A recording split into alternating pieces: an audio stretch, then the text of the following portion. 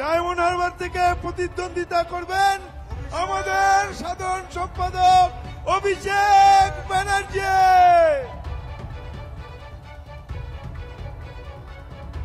যাদবপুর থেকে মামাটি মানুষ এবং বাংলার প্রার্থী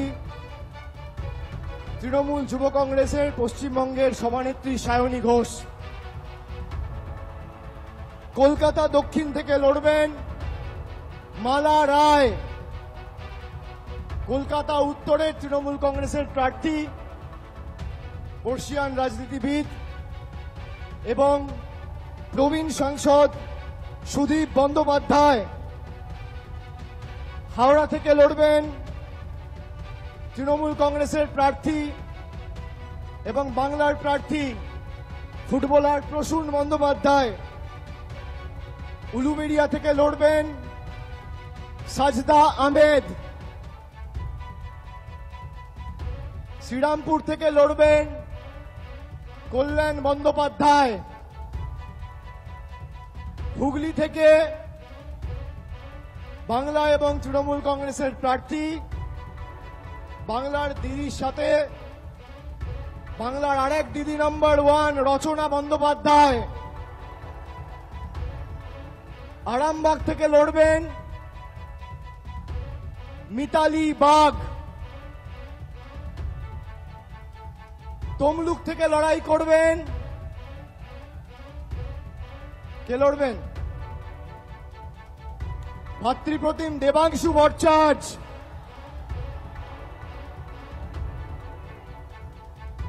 কাঁথি থেকে বাংলার প্রার্থী, পূর্ব মেদিনীপুরের মানুষের সর্বক্ষণের কর্মী,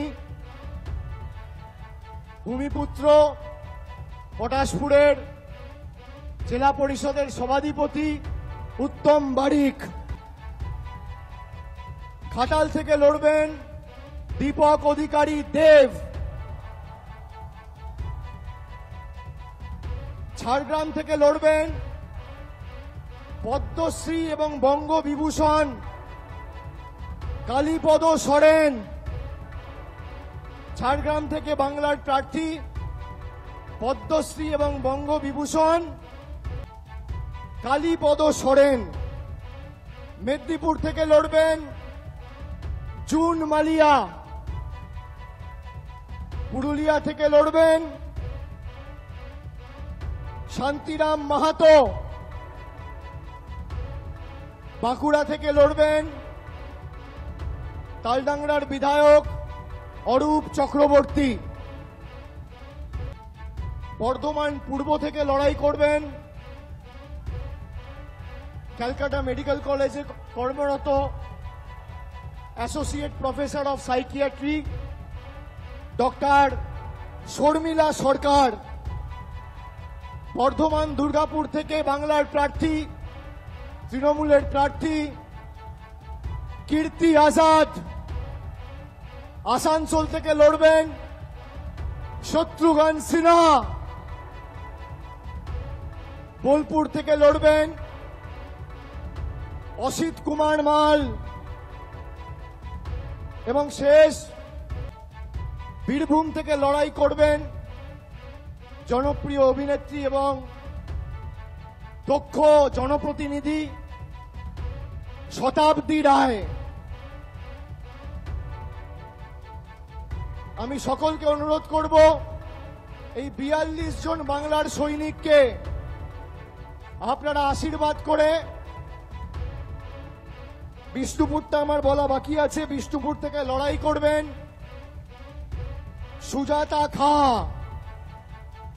এই বিয়াল্লিশ জন প্রার্থীকে আপনারা আশীর্বাদ করে সুজাতা মণ্ডল খা বিষ্ণুপুর থেকে লড়াই করবে। ও লড়াকু মেয়ে আপনারা এই বাংলার প্রত্যেকটা সৈনিককে আশীর্বাদ করে বাংলা বিরোধী শক্তিদের যাতে বাংলার বাংলার মাটি থেকে আমরা উৎখাত করে ফেলতে পারি। আপনারা মমতা বন্দ্যোপাধ্যায়ের হাত, তৃণমূল কংগ্রেসের হাত আরও শক্তিশালী করবেন। মাথায় রাখবেন, কেন্দ্রে যেই ক্ষমতায় আসুক, বাংলায় সর্বত্র তৃণমূল কংগ্রেসের প্রার্থীদের জেতান। আমি এটা কেন বলছি? তার কারণ চোদ্দ সালে আপনারা চৌত্রিশ জন সাংসদকে বাংলা থেকে জিতিয়ে দিল্লিতে পাঠিয়েছিলেন। নরেন্দ্র মোদী হয়তো ভারতের প্রধানমন্ত্রী হয়েছিল, কিন্তু গায়ের চড়ে গাজুয়ারি করে বাংলার দশ পয়সা আটকে রাখতে পারেনি। পরবর্তীকালেও দু হাজার উনিশ সালে আপনারা অর্ধেক বাংলা, আঠেরোটা সংসদ, বিজেপিকে উপহার দিলেন, পরের দিন থেকে বাংলার মানুষের জল, কল, রাস্তা, একশো দিনের কাজ, সব টাকা বন্ধ। সুতরাং এটা প্রতিষ্ঠিত। বিজেপি জিতলে আপনি আপনার অধিকার থেকে বঞ্চিত হবেন। আর তৃণমূল জিতলে আপনার অধিকার আপনি পাবেন। তাই অধিকারের পক্ষে আগামীর ভোট। আর আমি খালি একটা কথা বলব। এটা